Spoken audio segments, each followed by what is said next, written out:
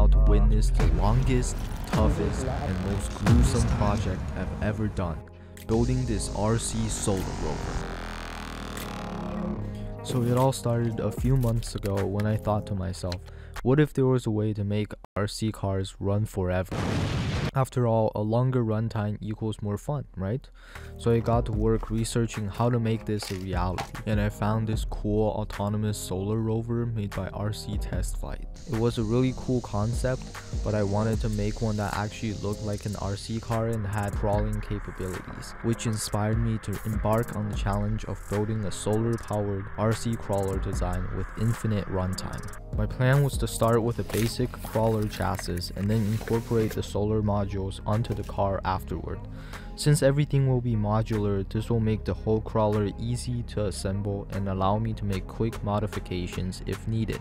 After a few weeks of more research and waiting for the parts to arrive, it's time to assemble the pieces. Here's everything I used for this build. If you want to check them out, I linked all these products in the description down below.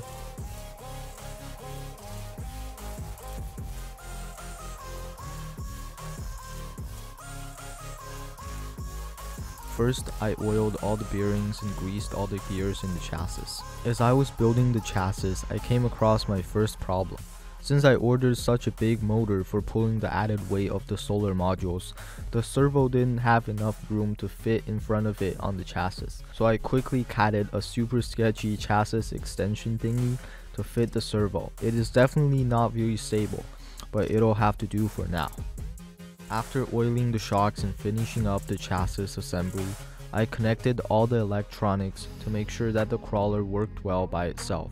Only then would we be able to add the heavy solar modules on the crawler.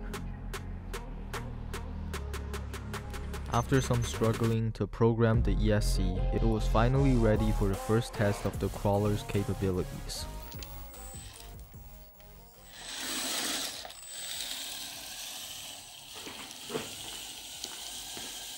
So yeah, it worked. A really cool feature of this chassis is that it can shift gears, which is useful for this build because I might have to run it in low gear to prevent the motor from overheating if the crawler ends up being really heavy. Now the next part is to add the MPPT solar controller and secure the electronics on the crawler. To do this, I 3D printed some platforms and screwed them onto the chassis.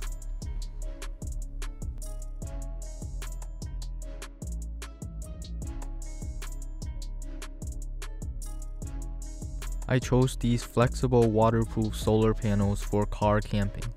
The advantage of using these flexible solar cells is that it is less likely to break if the car flips over and that it is more durable in raining conditions because it's waterproof. I wired two panels in series and then connected three sets of these in parallel. According to the specs, this configuration should output enough current to sustain the crawler on a normal sunny day. However, I'm still a little worried that these panels are going to be way less efficient than the conventional monocrystalline glass panels. In order to mount these solar panels, I cut up a board and coated it in white protective coating. This will prevent water from seeping into the wood. The white color also reduces the heat of the wooden board, making the solar panel operate more efficiently. So with all the parts finished, it's time for the first test. Alright, so we have the car over here and we're basically gonna run laps on this field. Alright, so I'm gonna be using those goal goalposts as landmarks. I'm gonna try to drive as straight as possible in like a rectangular shape.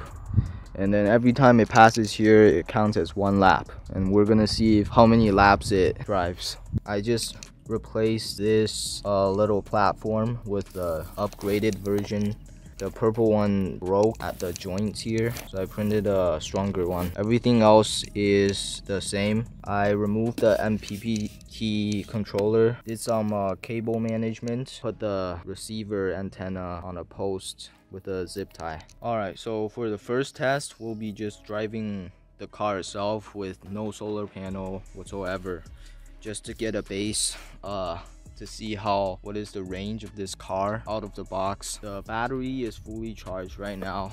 I can just put the MPPT just as a voltage sensor. It should be 12.2 volts right here. So it's reading 12.1, but it should be 100% charged. So I'm going to be running this car until this reads 11.4 volts, which is when the battery is about 40% capacity. And for all the other tests, I will also run it until it hits 11.4 so we get a controlled variable here. All right, so let's do this.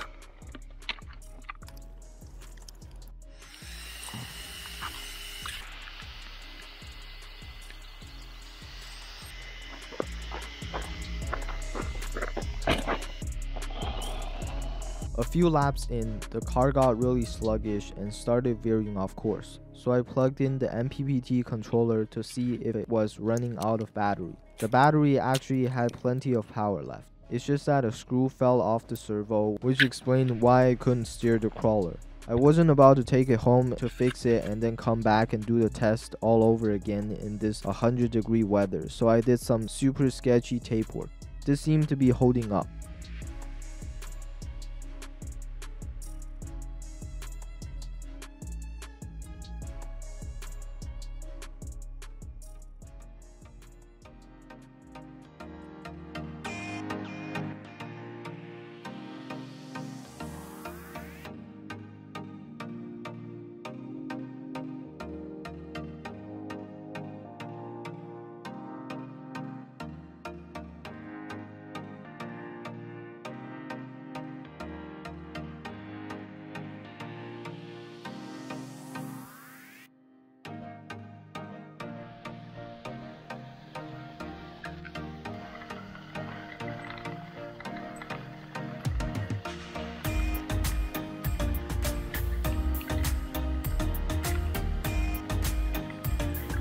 Just look at the amount of bugs that got caught in this.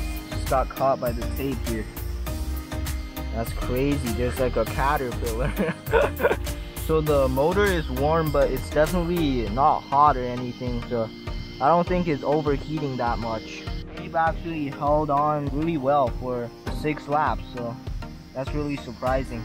And then the fan is definitely just loose now because I just mounted it with one screw and then it, it just kind of got loose from all the shaking. All right, so it's been seven laps. Let's see what the voltage is. Perfectly 11.4 volts. So it takes seven laps for this car to go from 100% capacity to 40%. Now that we got a baseline for this crawler's performance, it's time to add the solar modules one at a time. For our second test, we need to test the efficiency of the MPPT controller. This is uh, day two. I mounted the MPPT controller, so we're gonna test it out with the controller on the car to see if there's any difference to the amount that it goes. Instead of the battery being connected directly to the ESC like the last test, the battery is connected to the MPPT controller. This feeds the current from the battery through the MPPT and out to the ESC. The only difference is just that I added the MPPT charge controller and then we'll be running the battery through the battery port and then connecting the ESC to the load port so that the current is flowing through the circuit in the MPPT and then out through the low port to the ESC. So this will definitely make the car run for a shorter amount of time because first there's some energy loss because now that the current is flowing through a circuit instead of just flowing straight from the battery to the ESC and also because there's more more weight on the car since the MPPT is mounted and just for a reference the MPPT is probably just as heavy as the battery. So it is a pretty substantial amount of weight. Okay so apparently i didn't charge the battery before i came out here so all right so basically I can't really test it with the ESC attached to MPPT because I already set the discharge stop at 11.4 volts so it won't turn on the ESC but I'm just gonna connect this straight with the ESC like last time. But now just with the added weight I just want to see if the speed is any slower. So the car didn't go that much slower at all. And I came back later that day to do the test with a fresh battery and it ran for six and a half laps, which is almost the same as before. Doesn't feel like it's going any slower, which is a good sign. That means the motor is not handling too much weight or anything. With the second test complete, it's finally time to add the solar panels. But this video is getting a bit long, so I'm gonna end this right here and do a part 2 where I show you guys the rest of the build. I definitely have a lot of fun things planned for this crawler in the future, like hooking it up to an FPV system, doing long distance missions, and so much more. If you want to support the channel and make these videos a reality, please subscribe or support me on Patreon. And as always, thank you for watching.